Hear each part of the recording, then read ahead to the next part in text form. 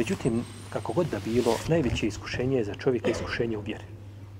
Nema većeg iskušenja. Kad zadesi čovjeka iskušenje koje se tiče njegove vjere i kada čovjek ostane bez vjere. A došlo u hadisu da je poslanik, sam sam rekao, ko od vas bude iskušan iskušenjem, misli se na iskušenje ovo gubljenjem nekoga od najmilijih ili nešto drugo što je vrijedno pri njemu, ne misli se na vjeru, svakako. Kaže, neka se sjeti svoga iskušenja kada sam ja u pitanju. To jeste, neka se sjeti moje smrti.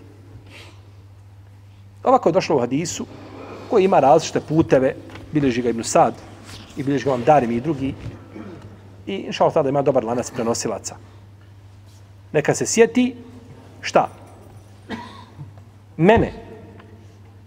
Jer prekid poslanstva i prekid objave je najveće iskušenje za ljude.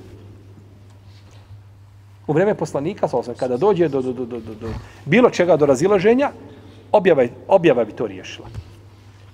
Iako je ovaj po ispravnijem mišljenju ashabi su mogli ići haditi. Ići hada ashaba je bio dozvoljen u vrijeme poslanika sa osaname. Ovaj, uh, ići su, međutim, vjera dođe šta i? Vjera dođe i popravi to. Vjera dođe i popravi. Međutim, nakon toga, kada je prekinuta veza sa, sa, sa nebesima, gotovo je. Nakon toga što dolaze poslanici, što za sebe tvrde da su poslanici, šta su? Jedan od onih 30, je li tako? Ništa više od toga. Jedan od njih. Brat Musaileme i e, Svodan, Ane, Anesija i njima slični. Tako, koji tvrde za sebe da su šta?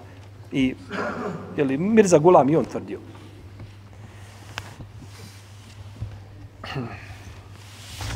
Neka se sjeti svoga musibeta kada sam ja u pitanju. Pa je to najveći musibet koji može zadesiti tako ljude.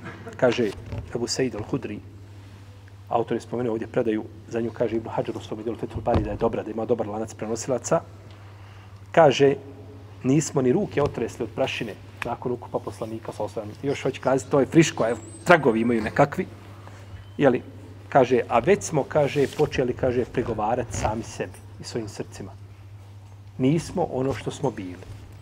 Hoće kazati, pa evo, juče smo ukupali poslanika sa osvajanom. To se desilo skoro. A odmah se je šta? Promijenilo.